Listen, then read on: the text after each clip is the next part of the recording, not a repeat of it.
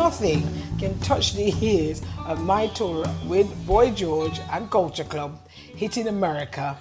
Don't mess about. You come off the plane. You don't even go through customs. We went to gigs on the police escort. That's how big that was. I had big hair, but it couldn't be any bigger than George's. Of course. You dared try and upstage the George. Fantastic. I love George. You know, when Helen Terry was leaving, Helen told him about me, and I went down and met him, and we just spoke. And we got on famously. The costume and the get up was all designed by the George himself, and I looked fabulous. it was great. Those days were amazing.